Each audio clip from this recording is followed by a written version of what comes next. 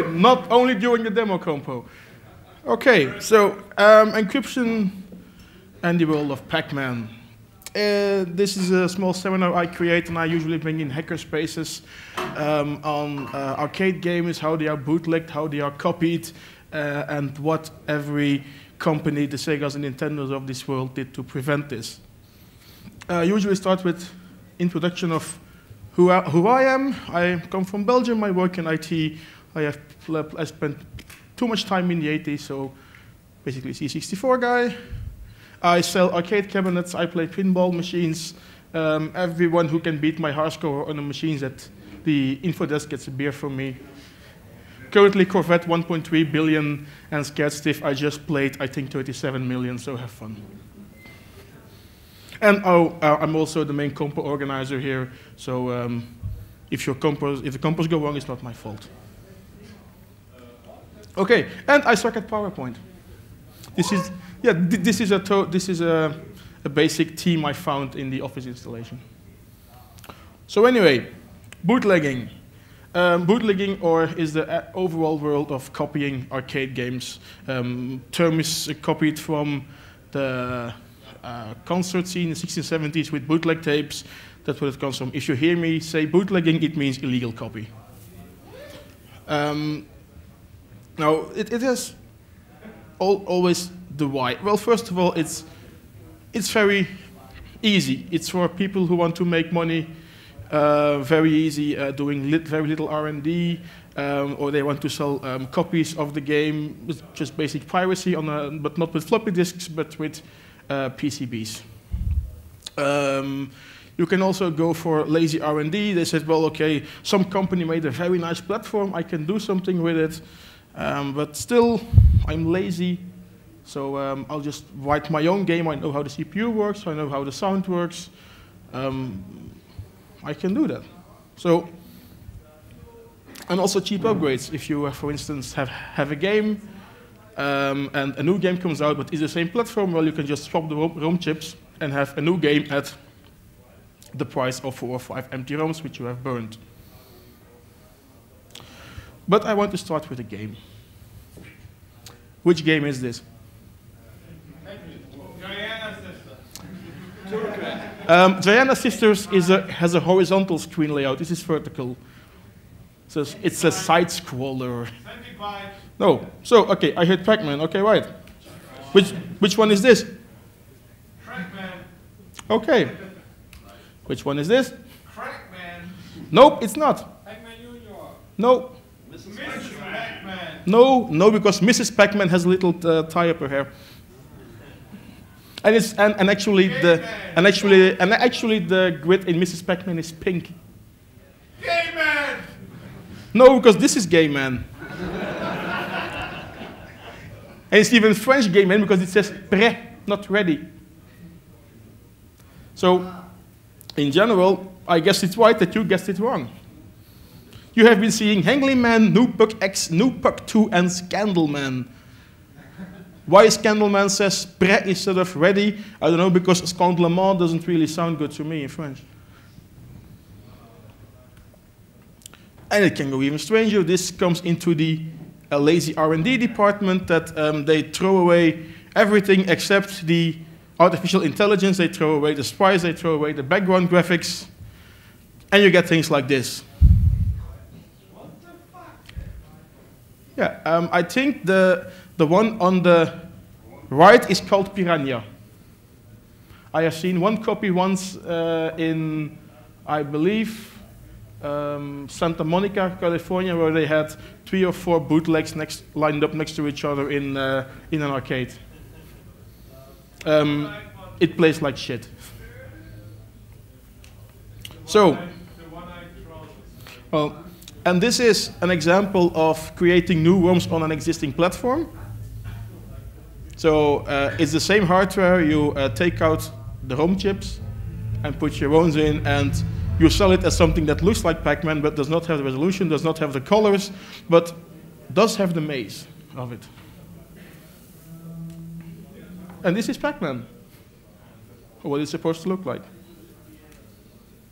Now, of course, all this bootlegging is a very bad thing if your name is uh, Sega, Nintendo, Namco, and um, oh, Midway. Um, you want to prevent this, you want to um, start uh, copy protection schemes, you want to put your lawyers on it, um, and of course the bootleggers get smarter and smarter, uh, which you don't like as well, and then you get eviler and eviler. So they have a few solutions. One is legalese, send in the lawyers. Is NetPert already here? He might enjoy this one. Uh, hardware trickery, software trickery, black blobs, encryption, and suicide. I always save the best for last, hence the suicide. So here, here's the legalese. Um, you have one game, or Pac-Man as originally called, and you sell it to an other company on another continent in the time that Concorde still flew, and you have the lawyers battle it out and transfer your money. What's the problem with this? Come on, open question. Come on. No, nobody cares. that is what I was doing. Hmm. So, you have the hardware tricks. Um, you put a little IC in the middle, and it changes your banks around. Uh, once, one time you go from bank number one to bank number zero to bank number five, and at the second you miss a certain bank switch, the game will crash because it gets the wrong information. You will, you will suddenly be loading sound data as game data, and the CPU says, I have no idea what to do with this, and it just halts. This is uh, a scheme just to copy basic ROMs, because uh, arcade games are, all, are, always built on a platform. You try to reuse it, it saves money. And uh, people quickly found out that, well, I, I can have this racing game, and then I have the shooting game, and I can just cop I can take the ROMs out and plug them in, and hey, I have a new game. If you don't copy the uh, security chip, or in this case the Atari Slapstic as it's called, as an example, um, your game doesn't work because each game uh, requires its own slapstic. Now you can get around this. Because as you know, the CPU you know its memory map, which gives you a way to start. The, the ROMs are encrypted, so you can just read them so you know what's going on. You can see at which time the CPU triggers the specific bank and uh, reads the specific data. And then you can emulate this. It will take some time, but um, cheap, cheap reverse engineering in Asian countries is not, was not uncommon, is, is still not uncommon, uh, and happens. So that's, that's how you get around the hardware tricks. You got the software tricks as well. This is mostly for um, consoles and um, systems which work with, with cartridges. You know that your system is a, a ROM system. You cannot write to it. So as your copy protection, you um, write to certain memory addresses and you expect an error. If you do not get an error message, you know, hey, I can write to ROM, which is not good, so I can, this is RAM I am writing to, hence I am a copy, and I stop. Just emulate it. But it's, it's, a, it's, it has been tried a couple of times, mostly on home consoles like your Nintendo's, uh, NESs and Mega Drives, uh, etc. Et they, ha they have some very basic system like this. Um, it hasn't been used much, but it exists. Then we come to um, the black blobs, which, um, ooh, I beeped. Which um, is that you create your own CPU, you put in your own ROM, you put in your own RAM, and you remove every marking of it, and you put it on your PCB game. Of course, you put it smack in the middle of your data bus so that it controls it. And, well, you, you do not know what's going on. There, is no code, there is no data um, coming, out of the, coming out of this chip. It, it reads the bus on one side and exits on the other side. But what's going on in the middle, you don't know. Now, have a guess from which game this is. It's not Pac-Man. Bubble Bobble, indeed. Actually, it took very long before Bubble Bobble was properly emulated in MAME, specifically because of this chip uh, every emulation that you had in MAME of Bubble Bobble was uh, of a bootleg. where they reverse engineered this specific chip. But the original one took a very long time, and we'll come back to why. And of course, as it's, it's a bootleg, it didn't took, take them long. You get bubble, bubble, bubble, bubble, and super bubble, bubble,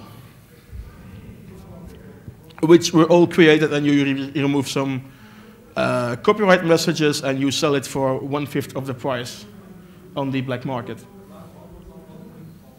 Yes, the black bubble bubbles in the wobble bubbles, I know. So, is how you do it.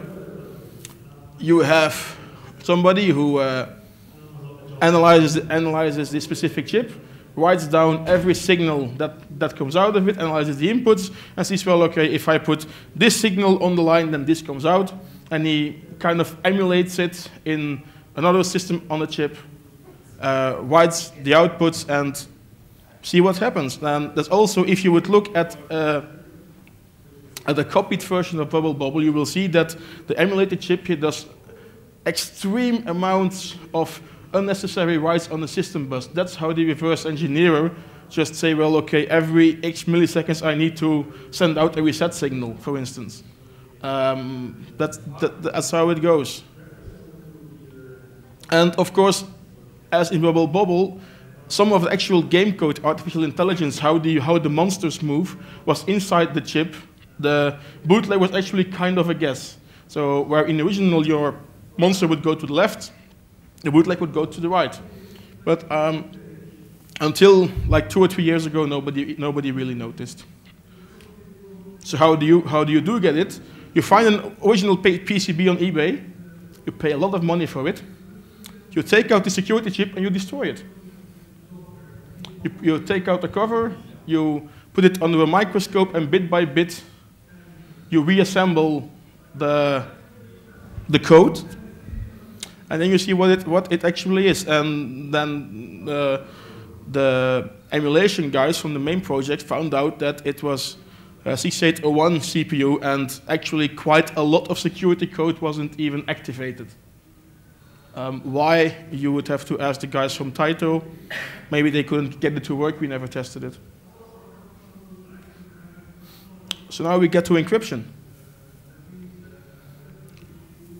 You encrypt your ROMs. You need your decryption key, and of course you do not store it in ROM. You keep it inside the CPU. You make inside your CPU, you make a special design of it. You have a small decoding algorithm and the key.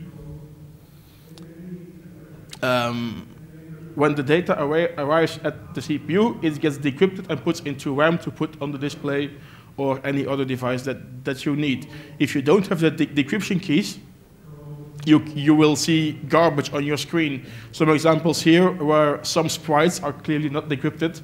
CPU says, well, I have no idea what this is and just shows blank memory data. Um, this was mostly in the late 90s used. Um, some algorithms today are still not even decoded.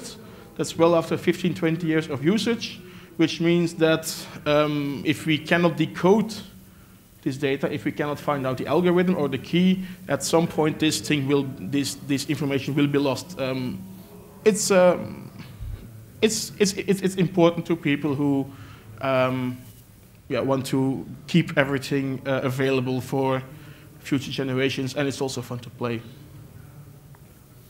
But you can also get around this. If you, today with strong CPUs and everything, we can do real-time uh, decoding. You can take your ROM image or your ROM chip, put an, into, put an uh, in-between on the bus, and you brute force it.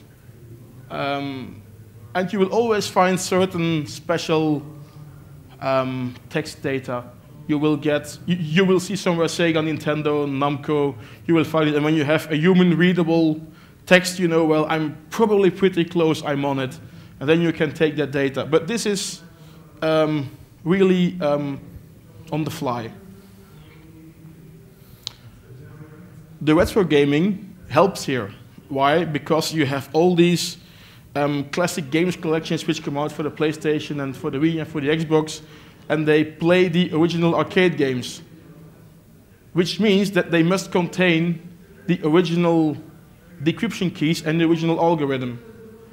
And usually a Wii disc or an Xbox disc or Play PlayStation disc is way easier to dump to disassemble, and you can just lift out the algorithm, and then that way you can brute force it in the other direction until again you have um, a human readable um, text. This was the method used for the Pokemon uh, demo, I believe, a couple years in the Breakpoint Wild, uh, Wild Compo. Which one? It's, um, it's, it's the same system used. And also, uh, games come in versions. You have bug fixes, you have version 1, you have version 2, you have new, new features, you have special editions, you have um, still differences between countries. You have a Japanese version, European version, an American version, and sometimes, for one reason or the other, nobody knows, uh, you get an unencrypted set, unencrypted ROM chips.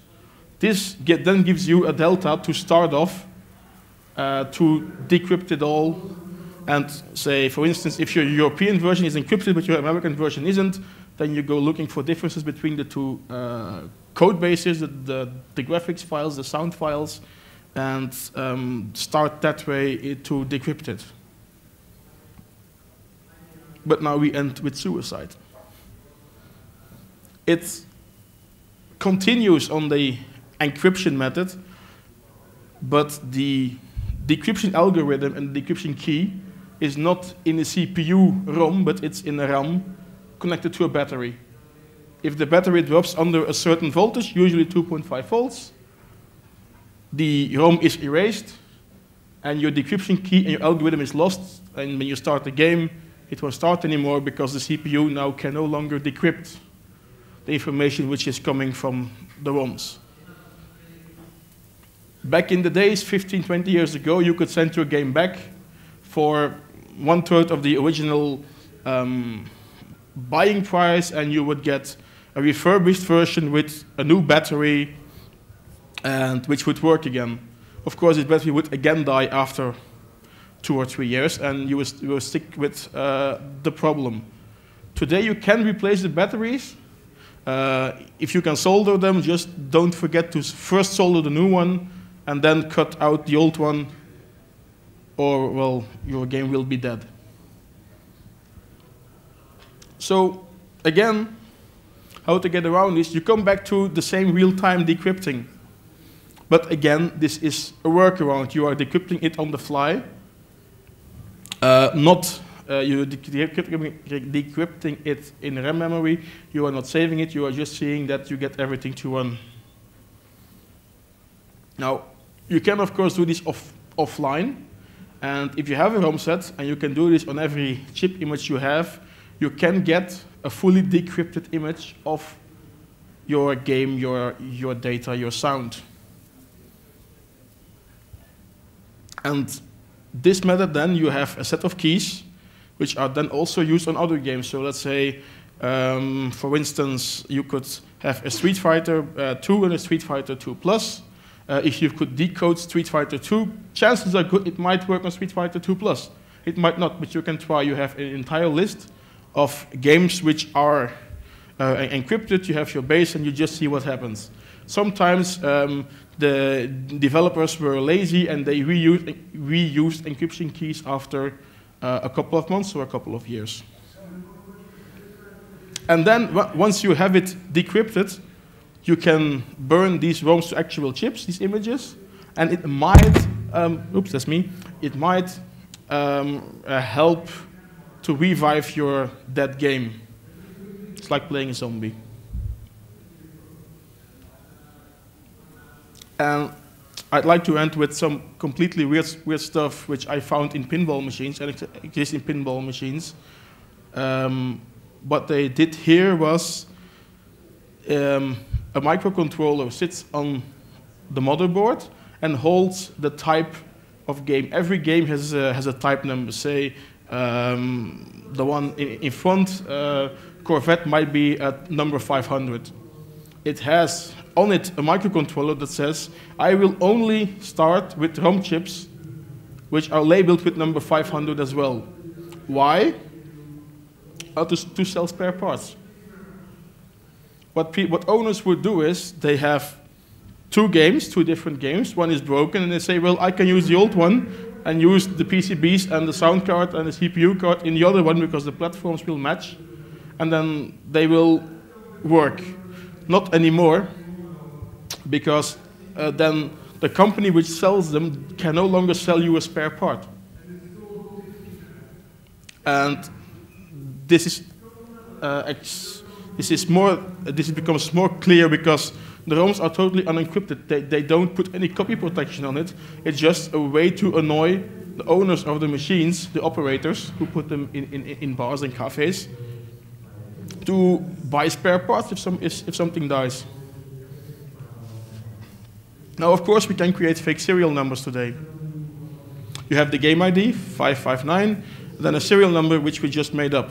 This is now coming out of the world of uh, PinMAME, pinball emulation, but it also helps um, the home users because now we can change this microcontroller or PIC PIC to be more lean on how it uh, accepts and uh, deals with uh, different game types.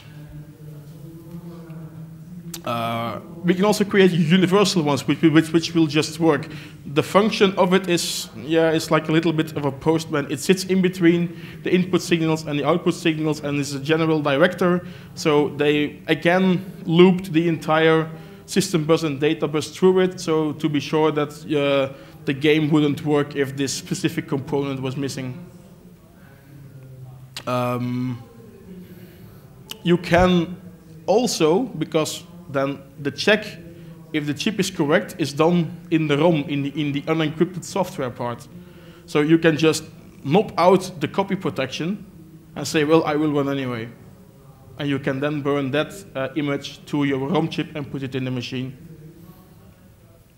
And most of it is done through uh, PinMAME in the last three to four years when the PCs got uh, strong enough uh, that they could uh, emulate the, the, 3D and the pinball uh, things and uh, the, the physics of ball movement.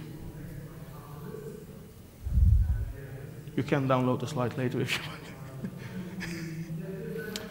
but still, bootlegging exists today. Three examples here that basically this is uh, a slide saying to all the guys at Namco, Nintendo, Sega, Midway, saying you failed. We do whatever we want, and whatever happens, you cannot start bootleggers. You have um, small PCBs which, which combine games. Um, the, these are clearly Chinese products, else you wouldn't call it the Happy Fish 302. Um, it, it, has all the uh, SNK Neo Geo games. You have the 61 vertical games, which is mostly Z80 based. You have all the uh, uh, Pac-Mans, Dig Dugs, uh, Frogger is on there. It's all semi-based around the same architecture. And you also have uh, emulation boards which uh, emulate the Capcom games, and Capcom was notorious for using suicide batteries. So, so these have all been bypassed, and now basically when people, uh, so um, many Capcom games on the second market aren't that worth that much anymore because first question is, did you remove the battery? If you say no, then well, the game will, will, will be dead because it's 10 years old. So there goes your value. And people then buy uh, emulation boards anyway. Now, I didn't make all of, all of this up. I have some references. Um, I'll make this slide, slide available. Uh, you can download the video, um, etc. But usually I end with questions. So shoot. Or is it all too complicated? I don't know. Sorry, uh, there's a microphone coming over. Where can I buy this uh, Neo game emulation boards? Uh, uh, yes, you can. You can. You can buy them at your uh, favorite Chinese reseller. Okay, I have to look for it. Okay. Okay. Um, what you also can do is you can buy a one-slot Neo Geo um, uh, board, and then um, put in a 100 in one, 150 in one cartridge in it which will have most of the games. Not all of them, but most of them. Any other questions? Come on, I took out half the, half the time for this. I heard that there were uh, standard uh, chips, uh, copy protection chips on NES modules. How do these relate to your scheme? Um, the NES chips would be comparable to the um, Atari Slapstic, I, I, I, believe. I'm not an expert on, on, on NES, but um, it's also um, it's pin pin rerouting and some um, de decoding of addresses, I I believe, which is uh, which is done there. Anyone else? Okay, well, um, then thank you. I'll be around if you have any further questions. Oh, is there another one? Sure. What up, Jeromeke? Uh, jij natuurlijk, Wiske. Godverdomme. Als je dat maar weet. Alright, get up for triple X. Come on. Thank you.